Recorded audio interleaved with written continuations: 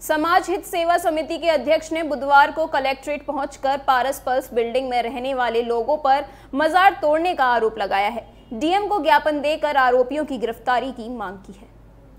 आपको बता दें कि पिछले दिनों लोहा मंडी थाना क्षेत्र के पारस पल्स बिल्डिंग में बिल्डिंग निवासियों ने सालों से बनी मजार को जेसीबी से ध्वस्त कर दिया था।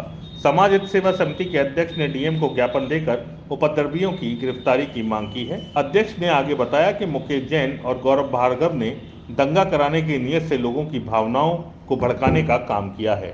अगर आरोपियों की गिरफ्तारी नहीं हुई तो दरगाह मुस्ता शाह बाबा के आस्था रखने वाले लोग आंदोलन करेंगे। हम इसलिए आया है कि पारस पल्स बिल्डिंग है, ये थाना लोमंडी अंतर्गत, थाना लोमंडी के पीछे।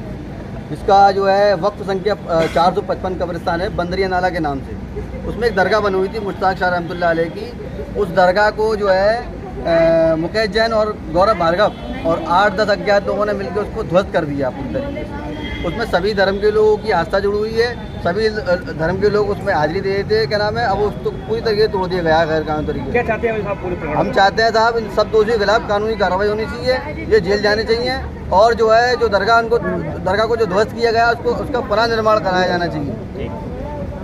ताजनगरी आगरा से प्रातः दर्पण न्यूज़ के लिए शाहरुख चौधरी गिरी। आगरा के सर्वाधिक सबसे लोकप्रिय channel Pratah Darpan news channel के यूट्यूब चैनल को सब्सक्राइब करें और हाँ बेल आइकन दबाना ना भूलें। चैनल के फेसबुक ट्विटर इंस्टाग्राम पेज को भी फॉलो करें।